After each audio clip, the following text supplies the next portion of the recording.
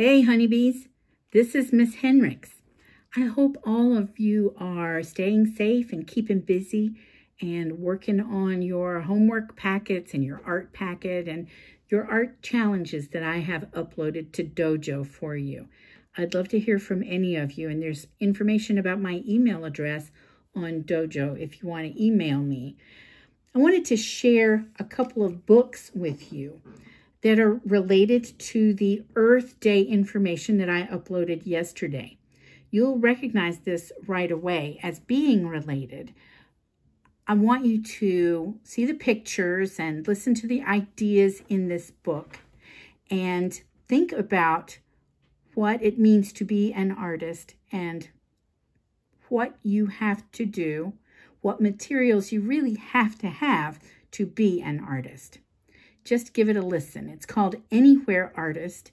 It's by Nikki Slade Robinson. The subtitle is She Creates Art from Anything, Anytime. Look, I am an anywhere artist. I don't need paint or paper. I can make art anywhere. My imagination is all I need. I am a forest artist. I find fluffy lichen, twisted sticks, and smooth stones. I pick up lacy leaf skeletons. I can make anything I want. I am a beach artist. I collect salty shells I shape sand. I spread curly seaweed out. I use driftwood, making it stand tall to cast long-fingered shadows over my art. I am a rain artist. My feet dance ringlet patterns in the puddles. I squish oozy mud into silly shapes. I am a sky artist. I lie on the grass and make art inside my head. The clouds are my paints. My imagination is my brush. Sometimes my art fills the whole sky. I can make art anywhere. I can make art with anything. I bet you can too. So what will you make today?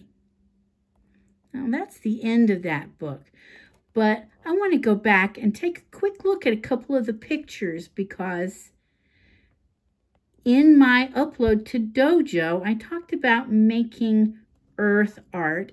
And look at this kind of a pet she has made.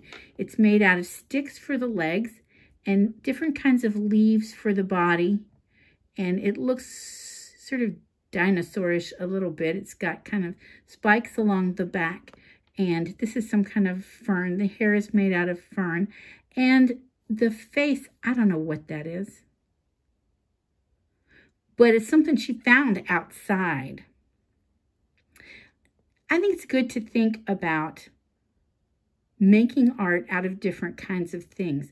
So everybody doesn't have a whole shoebox full of fancy store-bought paints, brushes, and nice paper for painting on.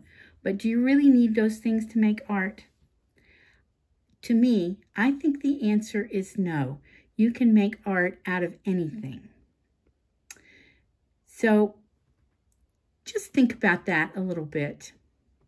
I'm going to upload this separately from the other book that's going to be coming along pretty soon. The next book is about honeybees. Talk to you later.